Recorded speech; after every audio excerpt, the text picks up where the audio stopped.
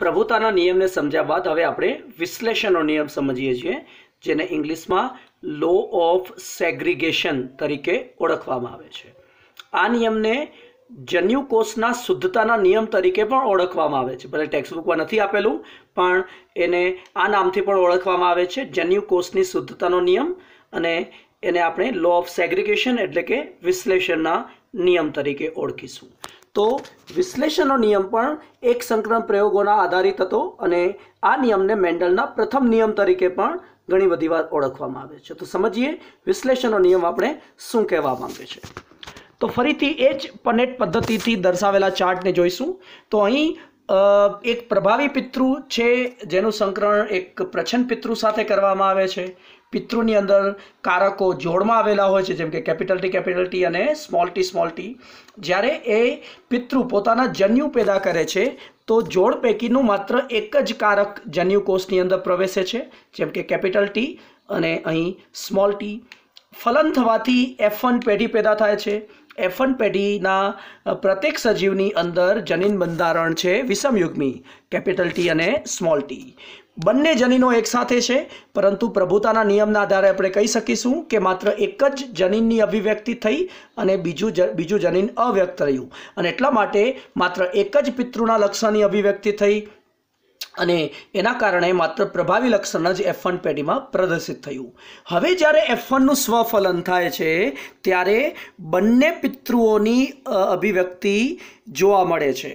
મતલબ કે એવા પિતૃની અભિવ્યક્તિ, અહીં જે પ્રછન્ન પિતૃ છે એની અભિવ્યક્તિ, કે જે એફ વન પેઢીની અંદર અવ્યક્ત રહી હતી, એ પ્રછન્ન પિતૃની લક્ષણની અભિવ્યક્તિ એફ ટુ પેઢીની અંદર એક જેમ ચાર પ્રમાણમાં પુનઃ અભિવ્યક્ત થઈ. તો એફ ટુ પેઢીમાં એના કારણે પ્રભાવી અને પ્રચ્છન્ન લક્ષણોનો જે પ્રમાણ છે, એ ત્રણ જેમ એક સ્વરૂપ પ્રકારનું પ્રમાણ છે, એ મળી શકે છે. તો આ જે ઘટના છે કે એફ વન પેઢી વિષમયુગ્મી હોય, એની અંદર સ્વફલન થાય, ત્યારે એફ ટુ પેઢીની અંદર પ્રભાવી અને પ્રચ્છન્ન પિતૃઓના સ્વરૂપ પ્રકારની અભિવ્યક્તિ ત્રણ જેમ એક ગુણોત્તરમાં મળે છે. આ બાબતને આપણે વિશ્લેષણના નિયમની મદદથી ખૂબ સારી રીતે સમજી શકીએ છીએ. તો આ જે વિશ્લેષણનો નિયમ છે લો ઓફ સેગ્રિગેશનનો નિયમ છે, એ એ તથ્ય ઉપર આધારિત છે, એ બાબત ઉપર આધારિત છે કે બંને વૈકલ્પિક કારકો સજીવની અંદર ભેગા રહે છે. જેમ કે અહીં એફ વનની અંદર કેપિટલ ટી અને સ્મોલ ટી આ બંને કારકો વચ્ચે કોઈ બ્લેન્ડિંગ એટલે કે મિશ્રણ અથવા તો સમિશ્રણ જોવા મળતું નથી. મતલબ કે કેપિટલ ટીનો કોઈ પણ ભાગ સ્મોલ ટીની અંદર પ્રવેશતો નથી કે સ્મોલ ટીનો કોઈ પણ ભાગ કેપિટલ ટીની અંદર પ્રવેશતો નથી. તો બંને વૈકલ્પિક કારકો, બંને વૈકલ્પિક જનીનો, બંને એલિલ સજીવની અંદર સમિશ્રિત થયા વગર ભેગા રહે છે. ભલે અહીં માત્ર એક જ જનીન અભિવ્યક્તિ દર્શાવતું હોય, પણ જે જનીન અવ્યક્ત રહે છે, એ પણ સજીવમાં એઝ ઇટ ઇઝ ભેગું રહે છે અને પ્રભાવી જનીન સાથે કોઈ પણ પ્રકારનું સમિશ્રણ દર્શાવતું નથી. હવે જ્યારે સજીવ જન્યુ પેદા કરે છે. આ અહીં વિષમયુગ્મી સજીવ છે. એ પોતાના જ્યારે જન્યુ પેદા કરે છે, ત્યારે બંને એલિલ એકબીજાથી અલગ થાય છે અને સ્વતંત્ર રીતે જન્યુકોષની અંદર પ્રવેશે છે. મતલબ કે કેપિટલ ટી અને સ્મોલ ટી જે સજીવની અંદર જોડ મારે છે. પણ જ્યારે આ સજીવ પોતાના જન્યુ પેદા કરે છે, આ પિતૃ પોતાના અહીં જન્યુ પેદા કરે છે, ત્યારે બંને એલિલ એકબીજાથી અલગ થઈ અને જન્યુ કોષની અંદર પ્રવેશે છે. તો આમ જન્યુ એ એલિલોને જોડમાં ધરાવતું નથી. બે એલીલ પૈકીનું એક જ એલીલ જન્યુની અંદર હાજર હોઈ શકે છે. મતલબ કે એફ વનના જે જન્યુઓ છે, એમાંથી પચાસ ટકા જન્યુઓની અંદર પ્રભાવી એલીલ જોવા મળે છે. જ્યારે અન્ય પચાસ ટકાની અંદર સ્મોલ મતલબ કે અહીં પ્રચંડ જનીન જોવા મળે છે. બંને જનીનો, બંને એલીલો એકસાથે જન્યુની અંદર હાજર હોઈ શકતા નથી.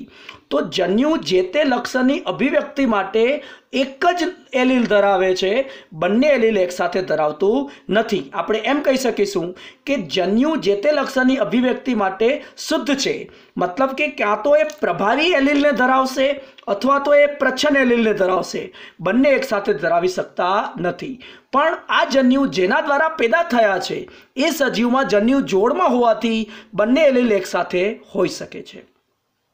તો ફરીથી રિપીટ કરું છું કે વિશ્લેષણનો નિયમ એ બાબત ઉપર આધારિત છે, એ તથ્ય ઉપર આધારિત છે કે બંને એલીલ સજીવની અંદર મિશ્રિત થયા વગર ભેગા રહે છે. જ્યારે આવો વિષમયુગ્મી સજીવ પોતાના જન્યુ પેદા કરે છે, તો આ બંને એલીલ એકબીજાથી વિશ્લેષણ પામે છે. વિશ્લેષણ પામે છે, મતલબ કે અલગ થાય છે અને જન્યુની અંદર પ્રવેશે છે. જન્યુની અંદર બે પૈકીનું એક જ એલીલ હાજર હોઈ શકે છે, બંને એક સાથે હાજર હોઈ શકતા નથી. એટલે કે વિશ્લેષણનો મતલબ થાય કે એલીલનું એકબીજાથી અલગ થવું અને જનનકોષની અંદર પ્રવેશવું. કારણ કે એફ વનની અંદર પેદા થતા જન્યુઓમાં પચાસ ટકા પ્રભાવી જનીન અને પચાસ ટકા પ્રછન્ન જનીન ધરાવે છે. અને આ કારણે એમના વચ્ચે જ્યારે ફલન થાય છે, ત્યારે બંને પ્રછન્ન જનીનો ફરીથી અહીં ભેગા થાય છે. અને બંને પ્રછન્ન જનીનો ભેગા થતા હોવાથી પ્રચ્છન લક્ષણની અભિવ્યક્તિ આપણે એફ ટુ પેઢીની અંદર જોવા મળે છે. તો આપણે કહી શકીશું કે સજીવો સમયુગ્મી સમયુગ્મી કે વિષમયુગ્મી હોઈ શકે છે? મતલબ કે સજીવોમાં બંને જનીનો સમાન કે અલગ અલગ વૈકલ્પિક જનીનો એકસાથે હોઈ શકે છે? પણ સજીવો જે પોતાના જન્યુ પેદા કરે છે, તેમાં જોડ પૈકીનું માત્ર એક જ જનીન એટલે કે એક જ એલીલ દાખલ થાય છે. મતલબ કે જે સમયુગ્મી સજીવો છે, એ સમાન પ્રકારના જન્યુ પેદા કરે છે, જેમાં બધા જ જન્યુની અંદર સમાન પ્રકારનો કારક જોવા મળે છે. તો અહીં તમે જોઈ શકશો કે સ્મોલ ટી સ્મોલ ટી અને કેપિટલ ટી કેપિટલ ટી જે સજીવ છે, સંયુગ્મી સજીવ છે, એ અહીં સ્મોલ ટી ધરાવતા જન્યુ પેદા કરશે અથવા તો કેપિટલ ટી વાળો જે સજીવ છે, એ માત્ર કેપિટલ ટી ધરાવતો જન્યુ પેદા કરશે.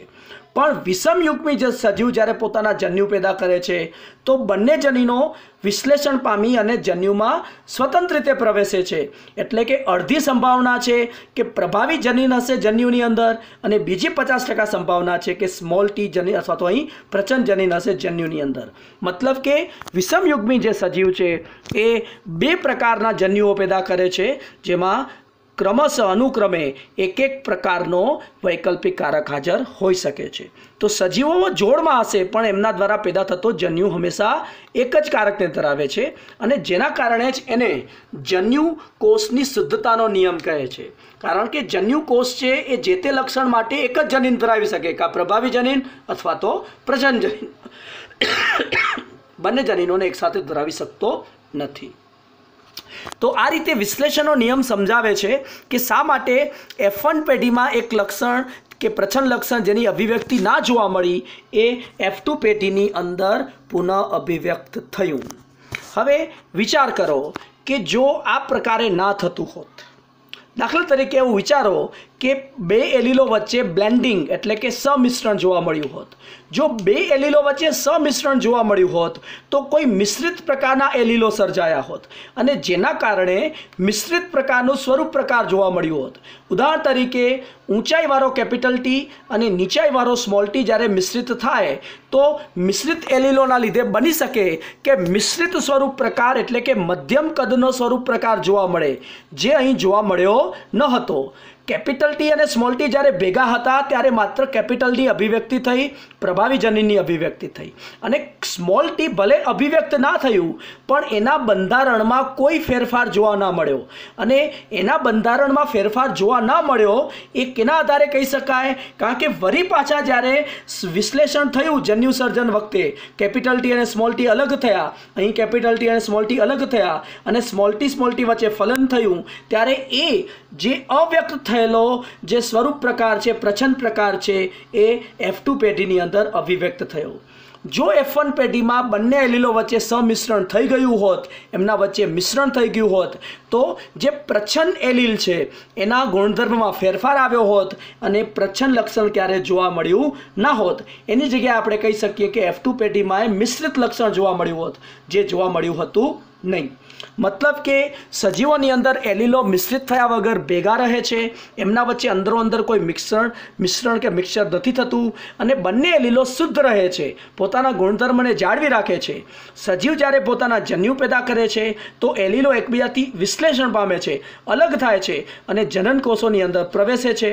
આમ જનન કોષો બે પૈકીનું એક જ એલીલ ધરાવી શકે છે. બંને એકસાથે ધરાવી શકતા નથી. અને જેના કારણે એફ ટુ પેઢીની અંદર આપણે ત્રણ જેમ એકના ગુણોત્તરમાં પ્રભાવી અને પ્રચંડ લક્ષણ છે જોવા મળે છે. અને ખાસ કરીને પ્રચ્છન્ન લક્ષણની અભિવ્યક્તિ જોવા મળે છે જે એફ વન પેઢીમાં જોવા મળતી ન હતી.